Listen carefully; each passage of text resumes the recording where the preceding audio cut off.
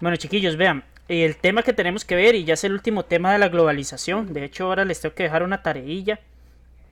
Eh, creo que no está muy difícil, pero bueno, es tarea, es tarea, ahí les voy a dar bastante tiempo para que la puedan hacer. Se llama convergencias y divergencias de la, culturales en el mundo de la globalización, o en el mundo globalizado, que es el último tema ya de lo que, lo que nos corresponde de ver de globalización, y empezamos ya con lo que es historia de Costa Rica. Eh, gracias al cielo. Dentro de lo que tenemos como convergencia y divergencia cultural, tenemos varias cosas ahí importantes. Primero, que es un sistema complejo formado por diversas redes. O sea, que tenemos una cultura que se está, que se está entremezclando, que se está generando un sistema cada vez más complejo y que involucra muchísimas conexiones, por ejemplo, sociales, económicas, culturales, políticas, y que este, las tecnologías de la información pues tienen mucho que ver con esto, ¿verdad? Este, yo no sé si ustedes han visto que actualmente hay un problemilla ahí con Facebook, que tienen miedo de que se fundan los servidores porque con esto de la cuarentena, perdón, este eh, se están sobrecalentando porque hay demasiadas personas conectadas en Facebook. Entonces estamos teniendo un problemilla con eso. ¿Han utilizado mucho Facebook en estos días? Manden un emoticón, sí, sí. Yo. Para comprar bar. Sí, sí, es que sí, sí, de hecho el mismo dueño, Mark Zuckerberg, dice que está, está teniendo muchos problemas, ¿verdad? Porque no, no están hechos los, los servidores de Facebook para aguantar tanta carga de personas al mismo tiempo. Yo nunca lo uso. ¿Y por qué no, Fío?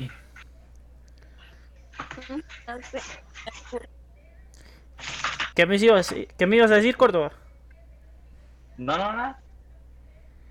No, pero Facebook. ok, Carol, ok. Bueno, chicos, aquí les puse. Este. Hay una teoría por ahí que anda hablando de que nosotros, bueno, siempre se ha dicho que cada ser humano es un universo. Y están haciendo como comparaciones entre cosas del universo, digamos fotos que tenemos y partes del cuerpo. Entonces, por ejemplo, esto es, esto es una célula cerebral y el universo, digamos, eh, de cómo se ve. Entonces están haciendo como una teoría de que cada persona o cada ser vivo también contiene un universo propio. Entonces vieron que está muy muy interesante.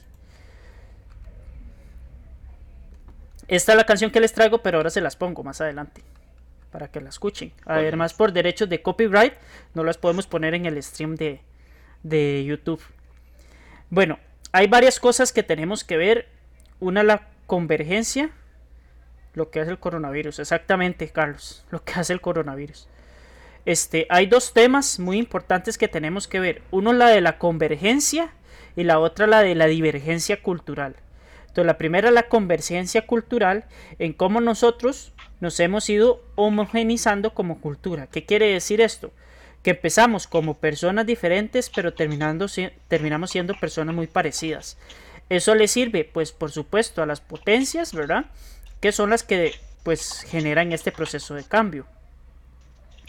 Tenemos por otro lado que es la divergencia cultural, que es lo que están intentando hacer los países para recuperar las tradiciones, la cultura del país propio, para que las personas permanezcan en él.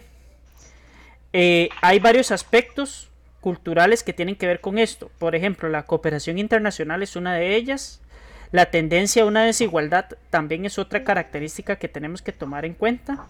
Y las comunicaciones instantáneas, cada vez es más rápido comunicarse, cada vez es más fácil y cada vez estamos más pendientes de, este, de este tipo de comunicación.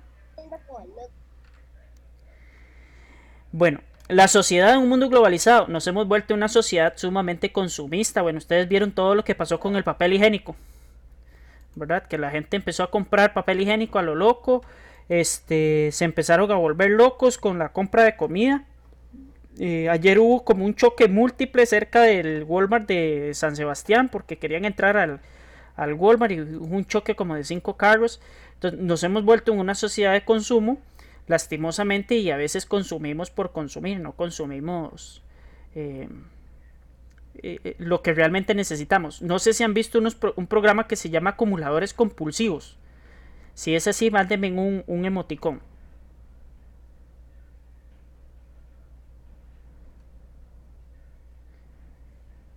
Ok. Ok. Esteban. Mi mamá cayó en del papel higiénico. ¿Su mamá compró mucho papel higiénico, Córdoba? Todavía teníamos y, pues, y, y compró como, como, como dos paquetes más ahí y todo feo, es como una lija esa vara. bueno, Córdoba, yo vi un chaval un día de estos en, en Walmart que llevaba como seis carretillos. Ahí mismo lo devolvieron, ¿verdad? Pero llevaba como seis carretillos de papel higiénico, así sin mentirles. No, en, en, en el palí de coro hay por, por si necesitan. Sí, aquí en el Walmart de Goicochea también hay por si necesitan en algún momento. Ok. Fío, ¿ibas a decir algo?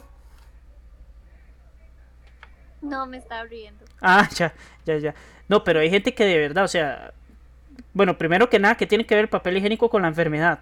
Segundo, pues no sé qué, qué está pasando con el mundo, ¿verdad? Pero, pero sí, sí, la gente se está volviendo. Y ese programa de, de, de ¿cómo es que se llama? Ese programa de compradores compulsivos y acumuladores compulsivos, de verdad que es trágico. Es, es una cantidad de cosas impresionantes lo que sacan de esas casas y, y, y pues no les sirve de nada. Pero bueno, este... Eh, también es que tenemos acceso a muchas cosas. También hay muchas tiendas globales, por ejemplo Amazon, por ejemplo lo que es Wish. Todo ese tipo de cosas hace que nosotros consumamos y compremos y compremos y cada vez nos van quitando como esa conciencia de qué realmente es lo que yo necesito. ¿Qué es esa sociedad de consumo? Pues también hay visiones, hay algunas visiones, por ejemplo, de, algunos grupos antiimperialistas que plantean que pues esto es en beneficio solo de países desarrollados como Estados Unidos, que el tema de la hegemonía global y cultural pues también es como una imposición, un estilo de vida que, que a ellos les conviene, ¿verdad? Para, para la este para la adquisición de productos de ellos y bueno, ese tipo de cosas, ¿verdad? Es una mera coincidencia con la realidad de lo que yo digo, ¿verdad? Yo estoy dentro de esa teoría. Bueno, dentro de la homogenización del paisaje urbano en el mundo globalizado, también tenemos que ya no solo copiamos los, las situaciones culturales y los patrones de consumo, sino que ya también estamos copiando ciudades. Entonces, por ejemplo, eh, este señor, el arquitecto Rem Koolhaas, establece que hay tres, perdón, eh, cuestiones que están haciendo que las ciudades cada vez se parezcan más.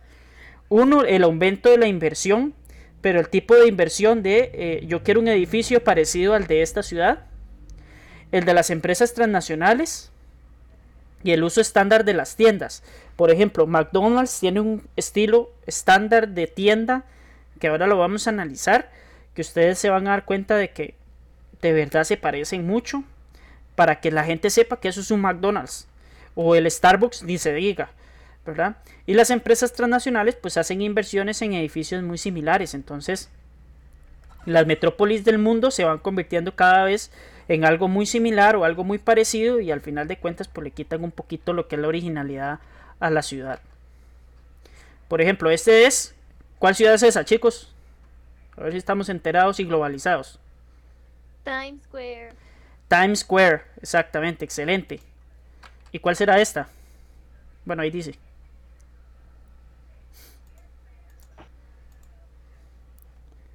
Ok, Nueva York, sí, exacto.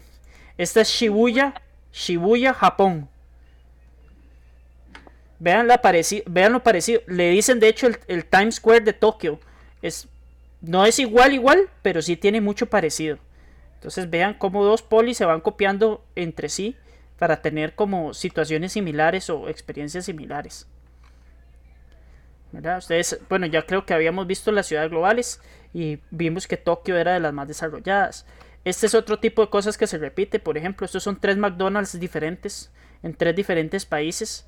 ¿Verdad? Yo creo que esos tres restaurantes los hemos visto aquí en el país en cientos de ocasiones. Entonces ellos van migrando hacia un modelo de que utilizan los mismos colores, el mismo estilo de rótulo, este el famoso payaso ese satánico que ponen ahí afuera para que los chiquitos se sienten a la par, este, etcétera, etcétera, etcétera. Y también tenemos el caso de Starbucks. Vea, este es un Starbucks en Alemania. Este es un Starbucks en Estados Unidos y este es el Starbucks de Plaza Lincoln. No hay demasiadas diferencias. ¿Qué pasó? ¿Alguien me habló? ¿No? Ok. Cuando vean el video van a ver que estoy como neurótico. Por eso hay que hacer un proceso de divergencia cultural, un rescate de la cultura. ¿Se quedó pegado? ¿Se quedó pegado? No, no, no, no. ¿Estamos bien? Ah, ok. Gato se le quedó pegado.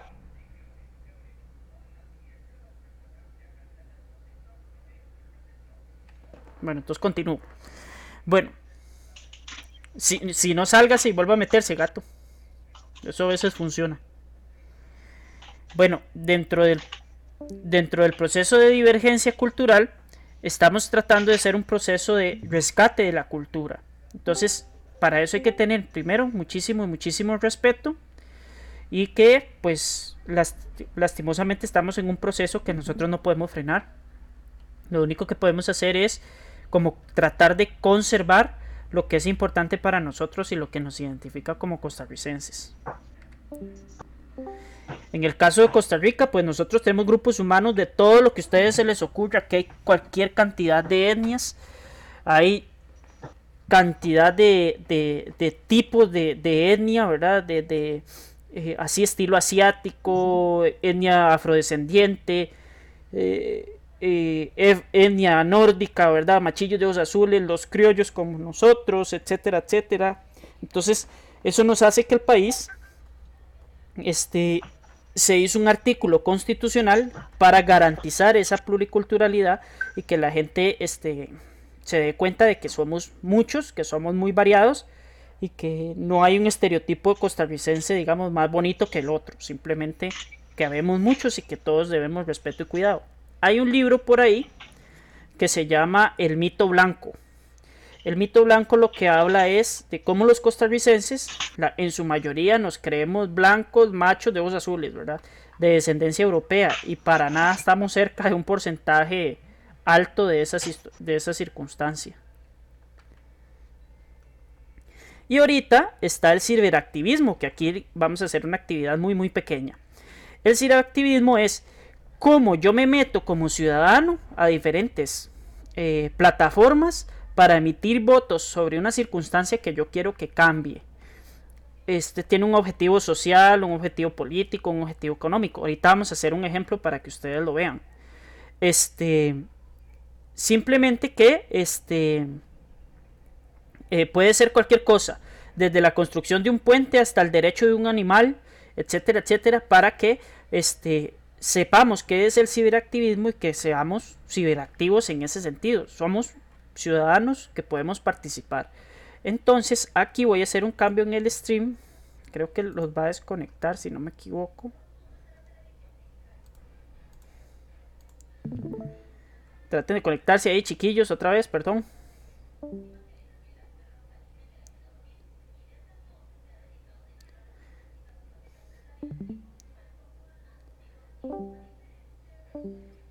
Vamos a hacer un poco de ciberactivismo.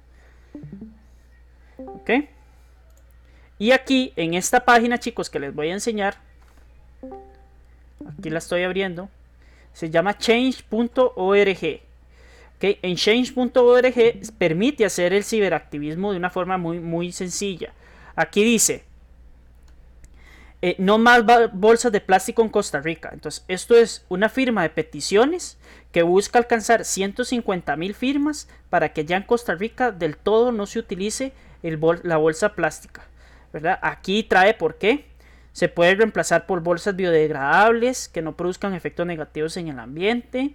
Este, su distribución y su tratamiento es muy difícil, la de una bolsa plástica, que es un recurso sacado del petróleo, que cuesta 100 veces más reciclarlas que producir las nuevas, que tardan entre 150 y 1000 años en descomponerse, que causan mortandad a los animales, etcétera, etcétera. Entonces, votamos sí que no.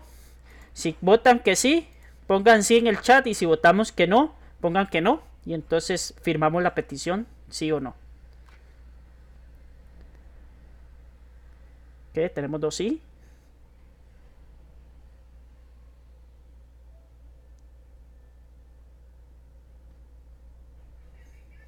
Córdoba que no. Tenemos 1, 2, 3, 4, 5, 6, 7, 8 sís. Y un no. ya se enojaron contigo, Córdoba. Firma la petición. Entonces ponemos aquí el nombre, Christopher Phillips, mi correo.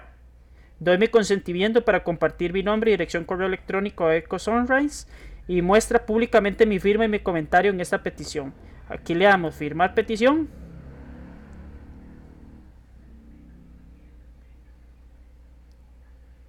Si queremos, podemos dar plata, pero yo no le voy a dar plata porque estamos en crisis, ¿verdad? Nos metemos con alguna cuenta, yo voy a usar la de Gmail.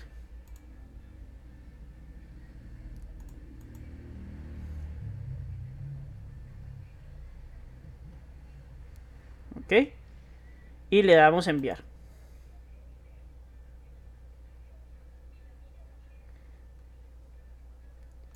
Vamos a copiar el enlace, le damos continuar.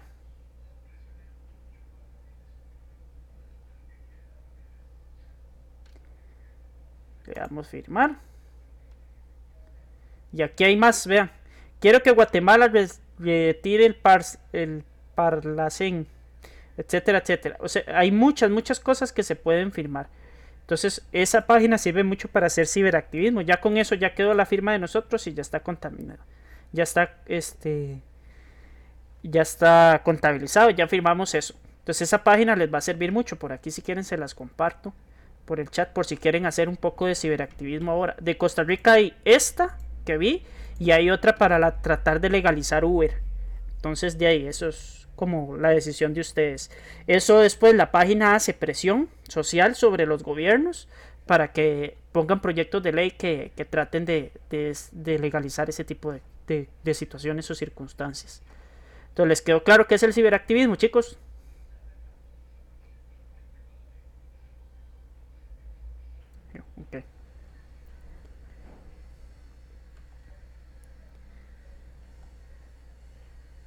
Ya hoy tratamos de hacer una buena obra, pues tratar de salvar las tortugas. Bueno, voy a desconectar el stream desde... Eh, voy a desconectar la clase grabada. Nos despedimos. Este, de la clase grabada. Chao, chao. chao. Pato, que no la vieron.